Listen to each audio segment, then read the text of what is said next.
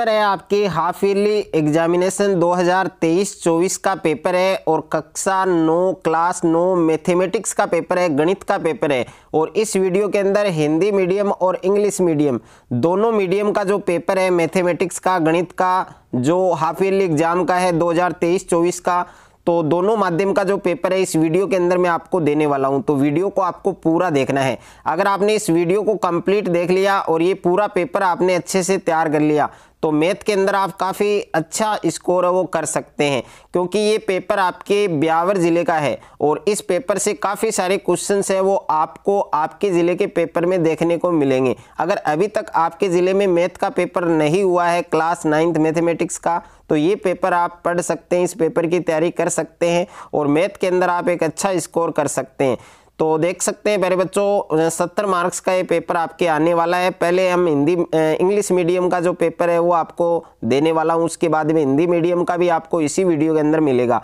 तो देखिए answer the following question and write them in the answer book by selecting the correct option तो इसमें आपको irrational number बताना है, यानी एप्रीमे संख्या बताना है पहले क्वेश्चन में आपको। तो इसमें एप्रीमे संख्या कौन सी होगी? ओके एप्रीमे संख्या कौन सी नहीं है? तो इसमें सी ऑप्शन आपका करेक्ट है। दूसरा है, इसमें आपको कोफिशेंट बताना है एक्स स्क्वायर का। तो इसमें वन हो जाएगा, यानी बी ऑप्शन आपका करेक्ट होगा। और एक्स प्लस वाई का होल स्क्वायर ये किसके इक्वल है?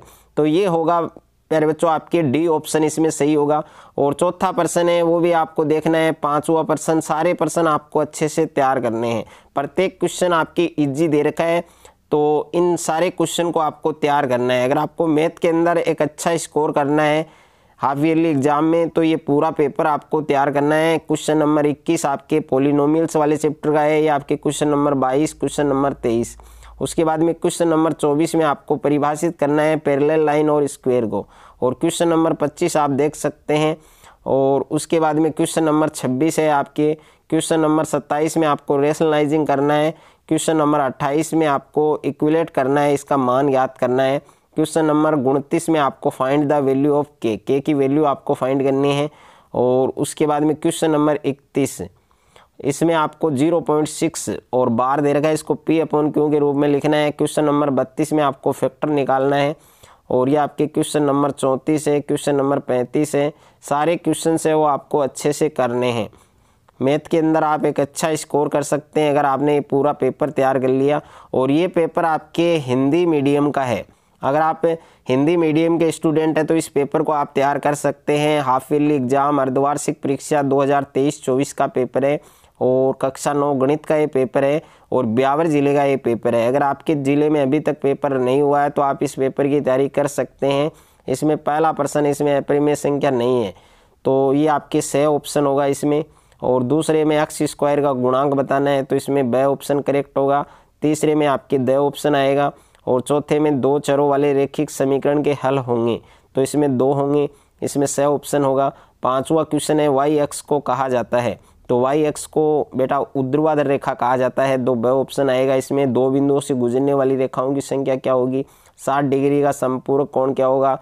ब ऑप्शन इसमें करेक्ट हो जाएगा। तो सारे प्रश्न आपको करने हैं। अच्छे से आपको आना चाहिए। या आपके रिक्त स्थानों की पूर्ति कीजिए और सत्य, असत्य का चयन करें और उसके बाद में अक्षों के प्रतिच्छेद बिंदु को मूल बिंदु कहा जाता है। सत्य या असत्य। तो सारे प्रश्न इसमें आपको करने हैं। यह आपके क्वेश्चन नंबर 26 है यह आपके क्वेश्चन नंबर 27 में निम्न के हरों का प्रीमेकरण करिए, क्वेश्चन नंबर 28 में सीधे गुणा किए बिना गुणनफल ज्ञात कीजिए, और क्वेश्चन नंबर उनतीस में के का मान आपको ज्ञात करना है यह आपके क्वेश्चन नंबर 30 है, और ये आपके क्वेश्चन नंबर इकतीस, क्वेश्चन नंबर बत्तीस में आपको गुणनखंड करना है, केवल दो गुणनखंड करने हैं आपको, क्वेश्चन नंबर तैंतीस में आपको सिद्ध करना है कि ए बी सी है वो एक सम द्विभाव त्रिभुज है। और क्वेश्चन नंबर चौंतीस में त्रिभुज का क्षेत्रफल ज्ञात करना है और पैंतीस वाला जो क्वेश्चन है, इसमें आपको स्थान निर्धारण करना है ग्राफ के अंदर। और ये वाला क्वेश्चन भी अगर आप करना चाहते हैं तो कर सकते हैं, अथवा में क्वेश्चन दिया है। और क्वेश्चन नंबर छत्तीस है, ये आप देख सकते हैं, इसमें आपको दंड आलेख द्वारा निरूपित करना है। और अथवा में है आपके आंकड़ों से एक आयत चित्र बनाइए। तो इन दोनों में से एक क्वेश्चन आपको करना है। अगर आपको ये वीडियो अच्छा लगे तो वीडियो को आप ज़्यादा से ज़्यादा बच्चों के साथ शेयर करें, ज़्यादा से ज़्यादा वीडियो को लाइक करें और चैनल पर आप नए हैं तो चैनल को आप सब्सक्राइब कर लीजिए और साथ में नोटिफिकेशन बेल को प्रेस कर लीजिए।